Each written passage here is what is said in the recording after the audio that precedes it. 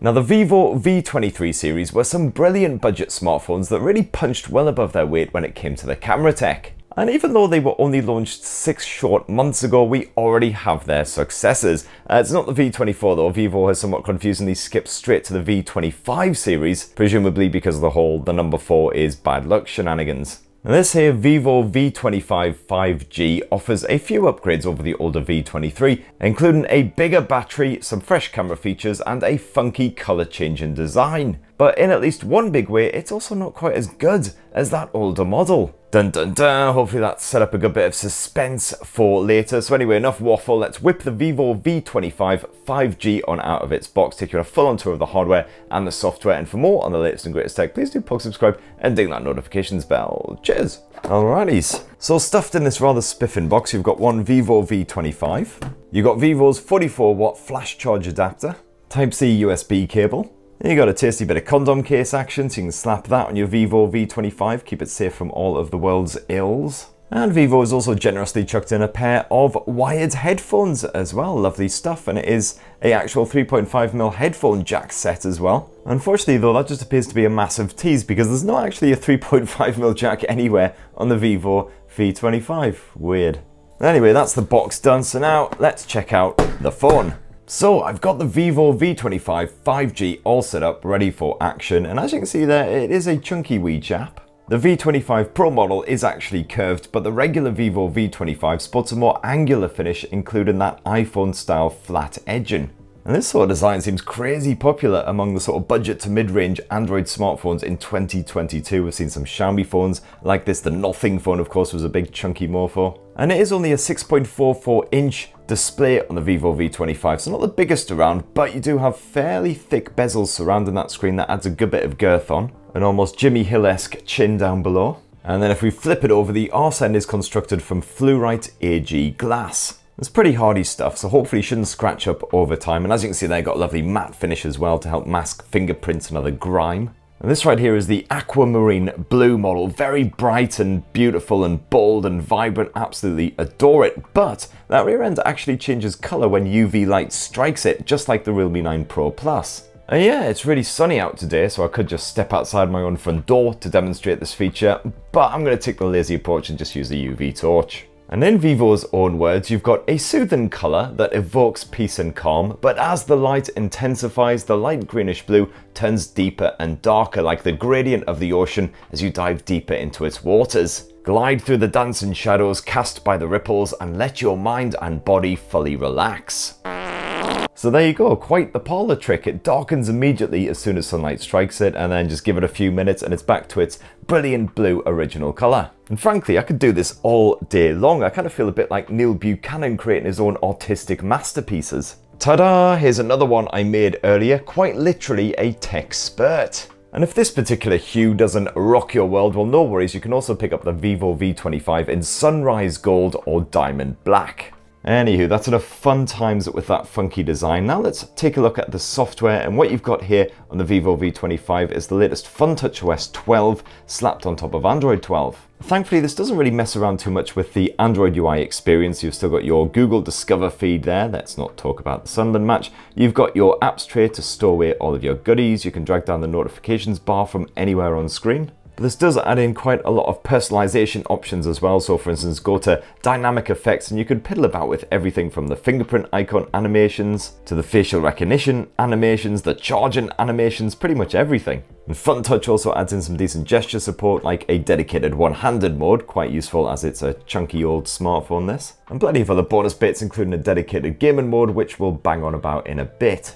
As for your storage, got a choice of 128 or 256 gigs of space for the Vivo V25. As you can see, this is the 256 gig model. 22 gigs used by the system, so not bad at all. Plenty of spare space to go. But the good news is you don't need to upgrade to that 256 gig model because you do actually have space in that double-sided SIM tray for a micro SD memory card.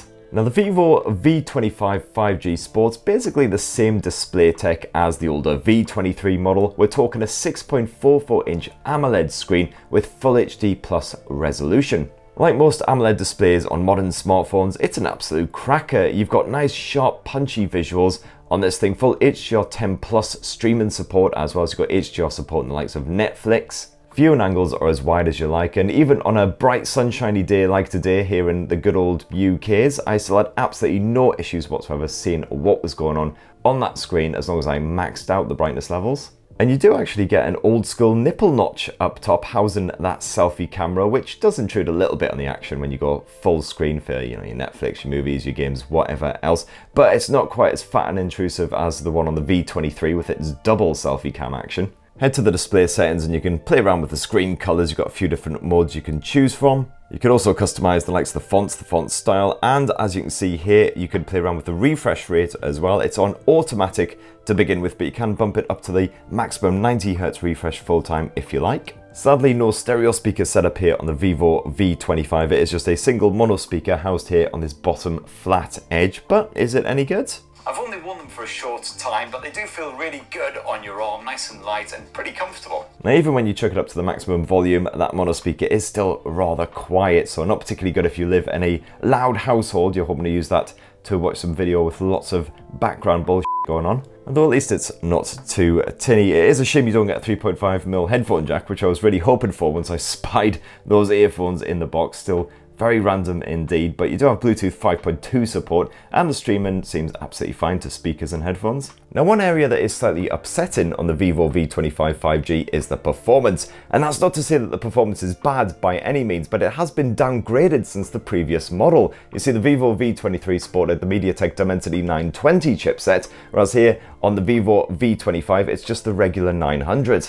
This is the same chipset that was found in the OnePlus Nord CE2 5G and the Oppo Find X5 Lite, and it's backed here on the Vivo by either 8 or 12 gigs of RAM. This is the 8 gig model, less than thrilling benchmark scores there.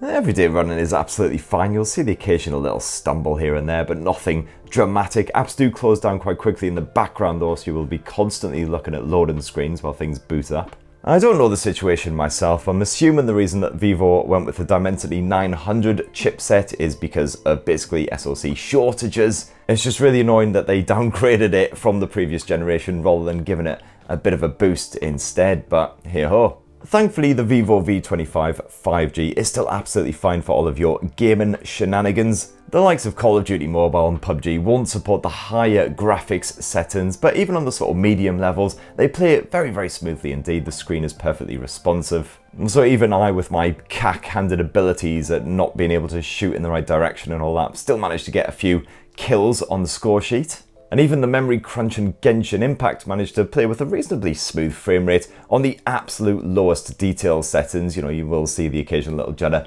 here and there. Again, not exactly the silkiest, smoothest experience in the world, but it is playable.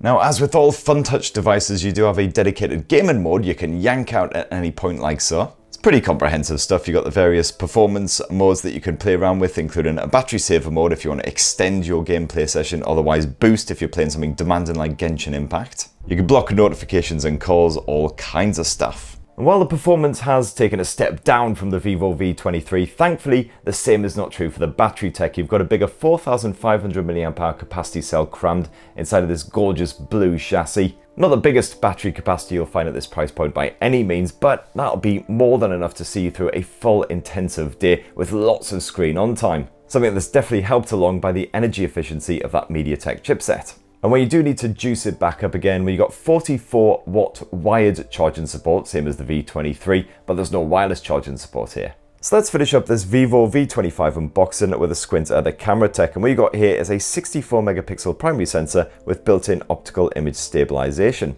It's not the same Samsung GW1 sensor as found in the V25 Pro model, but it is still pretty bloody good at capturing everyday pictures and home movies. Like the V23 before it, you can basically just point and shoot and expect good looking results around 8 or 9 times out of 10 with minimal thought behind it, so in that way it's similar to the Pixel smartphones. I found my photos had a natural vibe, really like the portrait results again, it just cleanly captures your subject and you can play around with a variety of different bokeh styles if you like. And even in lower light scenarios as well, again not too much noise creeping in, fairly natural looking colours, so overall great stuff.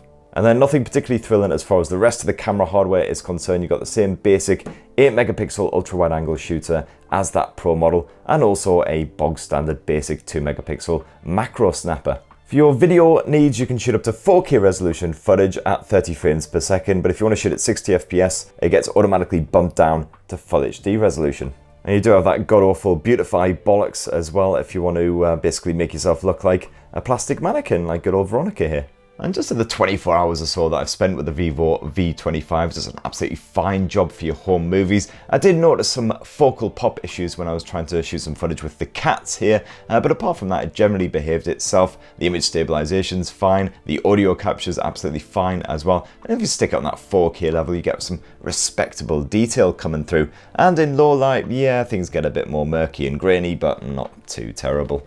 And then last up, if you flip around to that selfie shooter, it's a 50 megapixel effort, same as the V23, so it should capture your mug in lots of detail, far too much detail probably. And you could also shoot up to 4K resolution footage using that front-facing 50 meg selfie cam. Uh, again, topping off at 30 frames per second. Just remember, again, to turn off the Beautify bollocks, because if you don't, you'll have absolutely enormous anime-style eyes, and it'll be bloody weird. Oh, and there's also a vlog mode, which basically just shoots little clips of you doing stuff and then just puts a whole load of annoying, obnoxious music over the top.